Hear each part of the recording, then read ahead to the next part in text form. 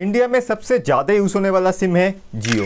2023 में पब्लिश हुए एक रिपोर्ट के अकॉर्डिंग, जियो के पास 439 मिलियन यूज़र्स है, जो कि 2024 में 450 तक हिट कर जाएगा। और इन सभी जियो यूज़र्स के फ़ोन पर आप चेक करके देखेंगे तो भाई सभी लोग जो है, एक ही एक्सेस पॉइंट नेटवर्क से कनेक्टेड है। इसी वजह से आपको जियो सिम यूज़ करते हुए, चाहे वो फोर हो या फिर फाइव इंटरनेट स्पीड में काफ़ी अप्स एंड डाउन देखने को मिलता है। बट आज मैं आपको दिखाने वाला हूँ जियो के डिफ़ॉल्ट एक्सेस पॉइंट को रिप्लेस करके एक न्यू एक्सेस पॉइंट को कैसे आप एक्टिवेट करेंगे अपने फ़ोन के अंदर, चाहे वो कोई भी सिम हो, जियो 4G या फिर 5G उसमें इंटरनेट स्पीड आपको मिलने में या फिर इंटरनेट को यूज़ करते हुए कोई सा भी दिक्कत देखने को नहीं मिलेगा। जियो के इंटरनेट स्पीड में 110 परसेंट बूस्ट इस वाले एक्सेस पॉइंट नेम को अपने फ़ोन पर सेट करने पे आपको देखने को मिलेगा। लेकिन इसे आपको स्टेप बाय स्टेप अप्लाई करना होगा, तभी ये चीज़ आपको मिल सकता है। तो चलिए बिना टाइम वेस्ट किए इस वीडियो को स्टार्ट करते सबसे फास्ट में हम लोग जियो सिम से जो डिफ़ॉल्ट इंटरनेट स्पीड मिलता है, उसे टेस्ट करके देखेंगे, उससे अभी कितना स्पीड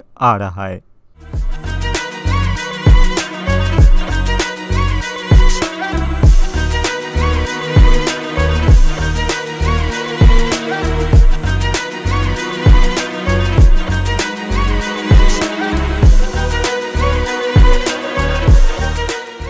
इसके बाद एपीएन को क्रिएट करेंगे। क्रिएट करने के लिए सिंपली आप फ़ोन के सेटिंग ऑप्शन पर जाइए। उसके बाद आपको SIM card and mobile network करके एक ऑप्शन देखने को मिलेगा। उस पर आपको टैप करना है। देन आप जियो सिम को सिलेक्ट कर लेना। उसके बाद आपको एक प्लस आइकॉन दिख सकता है या फिर ऐड ए न्यू एपीएन करके भी लिखा हुआ रह सकता है किसी किसी फ़ोन पर।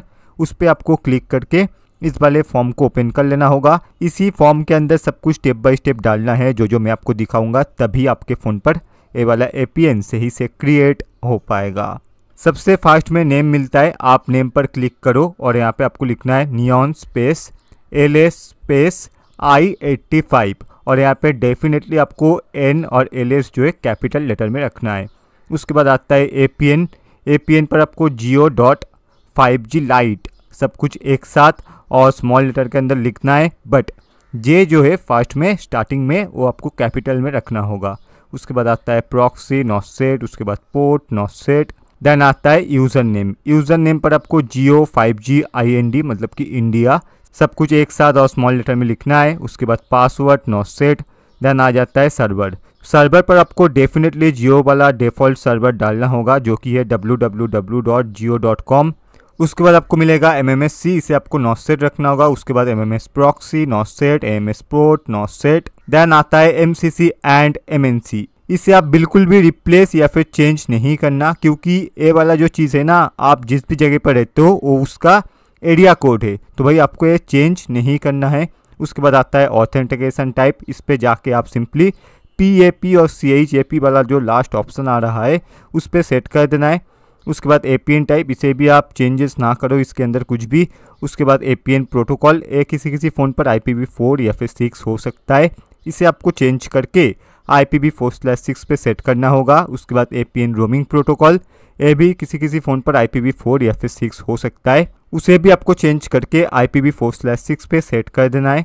इसके बाद आ जाता है one of the most important setting B R R लेकिन बी आर आर देखने से पहले आप डेफिनेटली टेक्नोमाइंड उज्जवल चैनल को सब्सक्राइब करके बेल नोटिफिकेशन को ऑन कर दीजिए, जिससे आपको और ज़्यादा इंटरनेट स्पीड मिलने लग जाएगा। तो चलिए आप देखते हैं one of the most important setting B R देखिए, सबसे पहले अनस्पेसिफाइड होगा। इसे आपको अनटिक करके इस वाले ए के साथ L T U M T S and उसके बाद E V D O B इन तीन बी आर आर पे टिक करके ओके दबा देना है बट अगर आपके फ़ोन पर एक से ज़्यादा या फिर दो से ज़्यादा बी सपोर्ट नहीं करता है तो उस केस में आप सिर्फ़ एल e वाला बीआरआर को सिलेक्ट करके ओके कर सकते हो, जिससे भी आपके फ़ोन पर कोई सा भी इशू नहीं आएगा और आपको अच्छा खासा इंटरनेट स्पीड मिलता रहेगा। बट इन तीन बीआरआर को एक साथ सिलेक्ट करके रखोगे तो भाई आपको नॉर्मल से कुछ ज़्यादा ही हद तक इंटरनेट स्पीड मिलने वाला है बट एक से भी चल जाएगा, कोई दिक्कत नहीं है। उसके बाद आपको मिलता है एनवेनो टाइप उसे भी आपको नान रखना है।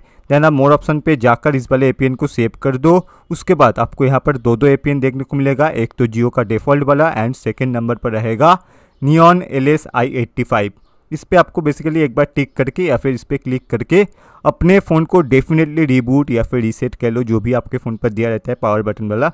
उसे मार देना, जिससे एपीएन आपके फ़ोन के साथ अच्छे से कनेक्ट हो जाएगा। एंड फ़ोन रिसेट करने के बाद भी थोड़ा सा टाइम इस वाले ए को हो सकता है तो भाई दे दो, जिससे और बढ़िया तरीके से आपके फ़ोन के साथ, जियो सिम के साथ ऑप्टिमाइज हो जाएगा एंड आपको भर भर के इंटरनेट स्पीड प्रोवाइड कराएगा। 4G फ़ोन पर 4G सिम से ही आपको 5G जितना इंटरनेट स्पीड आराम से मिलने लग जाएगा। अभी अभी मैंने इस वाले एपीएन को अप्लाई करा है तो चलो फिर भी देखते इससे अभी कितना इंटरनेट स्पीड आ रहा है। और ये वीडियो यहाँ पर ही ख़त्म नहीं होता है। अगर आप जियो एयरटेल या फिर वी सिम पर 4G सिम से 4G फ़ोन पर ही 5G को एक्टिवेट करके original 5G speed 4G phone पर ही पाना चाहते हो, इसके लिए तीन में से कोई सा भी आप वीडियो जाकर वॉच करो, जो भी वाला सिम आप यूज़ करते हो। ये सारा वीडियो 100% वर्किंग है एंड किसी भी 4G फ़ोन पर ओरिजिनल 5G स्पीड को लाने के लिए स्टेप बाय स्टेप गाइड है, जो कि आपको डेफिनेटली देखना चाहिए। तो चलिए आज के लिए बस इतना ही। मैं मिलता हूँ आपसे इन सभी वीडियोस में।